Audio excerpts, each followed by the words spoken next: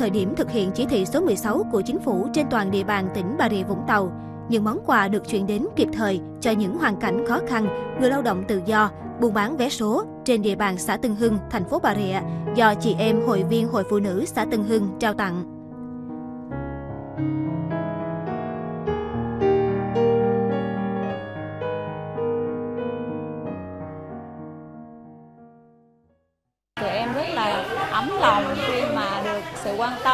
Của xã và hội phụ nữ à, trong cái mùa dịch Covid này. Dạ em rất là vui, em xúc động. Mình già rồi giờ khó khăn, hoàn cảnh khó khăn thì mình nhận thì mình cũng vui. Ngay từ những ngày dịch bệnh Covid-19 bùng phát lần thứ tư, trước khi Bà Rịa Vũng Tàu có ca nhiễm ngoài cộng đồng vào ngày 28 tháng 6, các chị em Hội Phụ nữ xã Tân Hưng đã có nhiều hoạt động thiết thực để hướng đến bà con nghèo, cũng là để góp sức cùng các tuyến đầu trên mặt trận phòng chống dịch bệnh.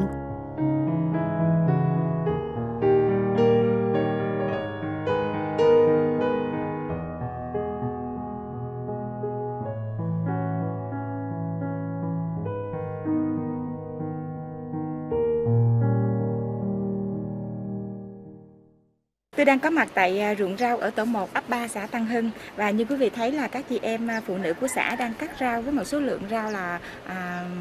vài trăm ký ở các loại để mà cung cấp cho các bếp ăn của lực lượng tuyến đầu chống dịch cũng như là trung tâm công tác xã hội bảo trợ trẻ em tỉnh và trung tâm nuôi nuôi dưỡng người già neo đơn của tỉnh Bà Rịa Vũng Tàu nằm tại địa bàn xã An Ngãi huyện Long Điền. Chào chị Thắng. Chào Dạ. em. Cái cách thức là mình hỗ trợ như thế nào vậy chị? Tại bây giờ là hồi sáng anh giờ là cắt được à, 80 kg rồi. Thì ở bên chỗ trung tâm à, cô nhi khuyến tật người ta đã lấy hết ra 30 kg rồi, giờ số còn lại nữa tí xíu nữa sẽ mạnh thường quân sẽ đến lấy. Về cái mùa này thì em cũng biết rồi, nhiều cái khu phong tỏa với là cái khu cách ly ấy, như ở Vũng Tàu hay Long Điền ở Sài Gòn gì đó thì cái rau thì thiếu rất là nhiều. Thì à, bên cạnh đó thì hội phụ nữ thì à, à, vận động cái mạnh thường quân á, người ta mua cái số rau này để người ta chuyển đi cho ở như là à, cô nhi khuyến tật này, người già neo đơn rồi các cái khu cách ly của ở Long Điền cũng như là cái khu phong tỏa ở dưới Vũng Tàu. À, khi mà cái rau đến cái ngày cắt rồi á mà ở các cái mối khác ở đang hiện tại mình đang thực hiện cái chỉ thị 16 là các cái đầu mối người ta không có vào lấy được rau thì à, các cái chị em ở dưới chỗ phụ nữ á, thì à, những cái hội viên mà người ta rau đến ngày mà chưa cắt được thì người ta lại liên hệ với cái chị chi hội trưởng của phụ nữ thì là từ đó nữa thì là bắt đầu là hội là đăng lên các cái trang mạng xã hội Zalo hay Facebook gì đó là à, rau cải rau muống rồi hẹ rồi um, à, các cái loại rau gì mình đăng lên thì khi có cái mạnh thường quân mà người ta có cái lòng hào tâm người ta ủng hộ thì bắt đầu người ta liên hệ với mình. Hội để đứng ra để mà mua mua lại cho ở cái hội viên để mình làm những cái đó. Trong thời gian à, toàn tỉnh Bà địa Vũng Tàu à, thực hiện cái giãn cách theo chỉ thị à, 16 của chính phủ thì à, đây là một trong những cái hoạt động à, để giúp những hoàn cảnh khó khăn cũng như là giúp bà con trong cái à, mùa dịch của à, đại dịch Covid thì trước đó thì Hội Liên hiệp Phụ nữ xã Tân Hưng đã có những cái hoạt động là để mà cùng chung tay với à, chính quyền nhân dân cũng như là đoàn xã hội trong cái việc phòng tránh Covid thưa chị. vận động các chị em cán bộ hội viên á, là làm cái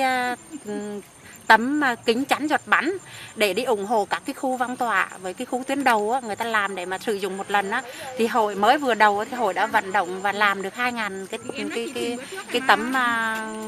Ờ, kính đó, hội sẽ đứng ra tổ chức vận động cái mạnh thường quân á. Mạnh thường quân là để mà mua đường này, sữa này, rồi bánh ngọt cũng như mì tôm và gạo. Thì để mà ủng hộ những cái người mà có hoàn cảnh khó khăn cũng như những cái tuyến đầu mà chống dịch như trung đoàn Minh Đàm. Thì cứ dưới cái khu cách ly đó, rồi sữa, rồi mì rồi à, bánh rồi à, các cái cái cái cái nhu yếu phẩm đó. Thì bên cạnh đó thì những cái người già mà neo đơn này người già có hoàn cảnh khó khăn này rồi mồ côi này khuyến tật với hộ nghèo với hộ khó khăn thì hồi cũng đứng ra vận động mạnh thường quân này cho đến giờ này á, là vận động ít nhất là cũng phải là 4 tấn gạo phải 500 phần quà. Có những cái hộ khó khăn á, là hội vận động là ít nhất cũng phải là mỗi người được 4 phần rồi cái phần quà mà như là cái um, tiêu thụ cái nông sản á của bên bà con của Long Sơn là đợt vừa rồi là cũng cá cá người ta đến ngày xuất rồi cũng không được thì hội cũng đứng phối hợp với hội nông dân xã là đứng ra để mà à, vận động bà con mua. Rồi à, nhãn lồng ở xuân mộc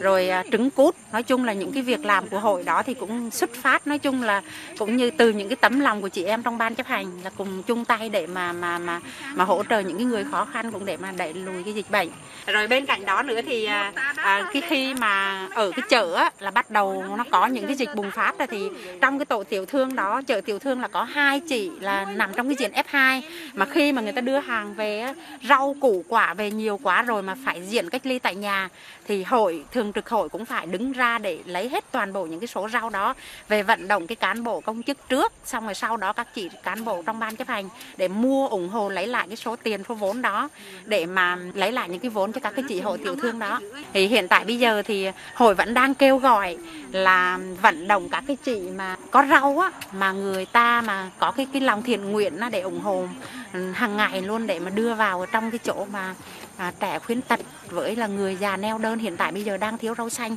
À, với cái nhiều cái việc làm ý nghĩa như vậy thì à, với mong muốn của các chị à, mang đến điều gì cho những cái hoàn cảnh khó khăn cũng như là ở những cái ờ, tuyến đầu để mà cùng chung tay với chính quyền cũng như là địa phương tỉnh Bà Rịa Vũng Tàu trong cái việc mà chống lại dịch Covid-19 ạ. thì à, qua đây thì cũng mong muốn rằng á là không những mà hội liên hiệp phụ nữ xã Tân Hưng mà cũng tất cả ừ,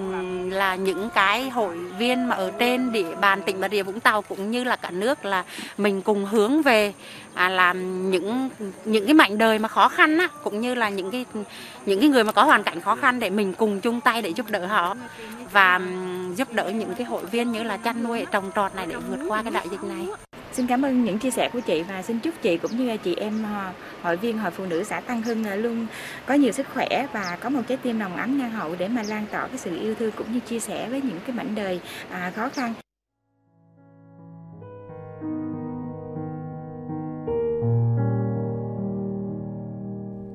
Trước tình hình dịch bệnh diễn biến phức tạp và khó lường, chặng đường chống dịch phía trước vẫn còn nhiều khó khăn. Và với các chị em phụ nữ xã Tân Hưng, tinh thần vì cộng đồng càng được phát huy và lan tỏa. Dịch bệnh sẽ qua đi, nhưng sự tử tế, tình yêu thương luôn được kết nối, lan tỏa từ những trái tim ấm áp vẫn còn đồng lại mãi. Người trao và người nhận đều cảm nhận niềm hạnh phúc từ sự lan tỏa với quyết tâm, đồng lòng đẩy lùi dịch bệnh Covid-19.